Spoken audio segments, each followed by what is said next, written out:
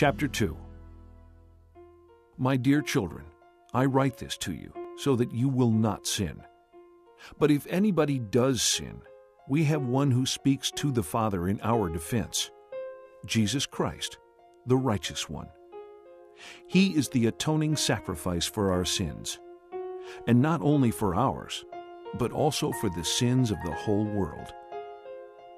We know that we have come to know Him if we obey His commands. The man who says, I know Him, but does not do what He commands is a liar, and the truth is not in him. But if anyone obeys His word, God's love is truly made complete in him. This is how we know we are in him.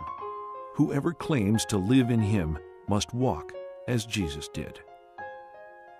Dear friends, I am not writing you a new command, but an old one, which you have had since the beginning. This old command is the message you have heard.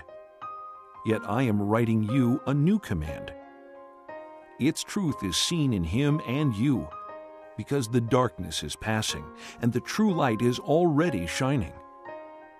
Anyone who claims to be in the light but hates his brother is still in the darkness. Whoever loves his brother lives in the light, and there is nothing in him to make him stumble.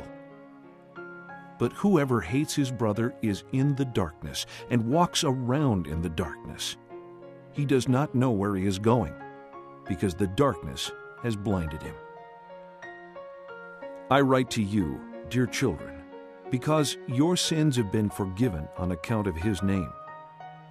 I write to you, fathers, because you have known him who is from the beginning.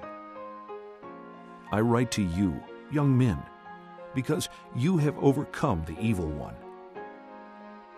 I write to you, dear children, because you have known the Father.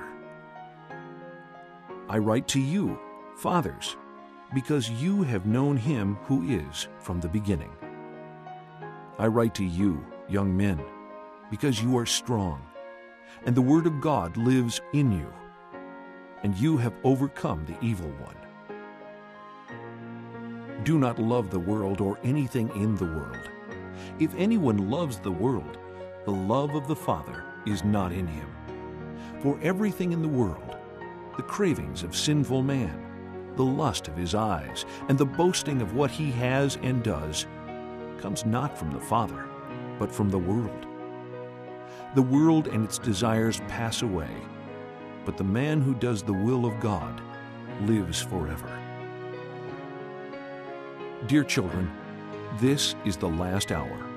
And as you have heard that the Antichrist is coming, even now many Antichrists have come.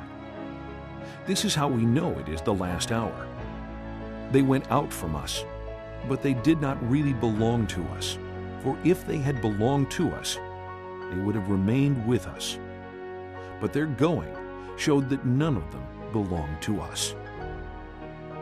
But you have an anointing from the Holy One, and all of you know the truth.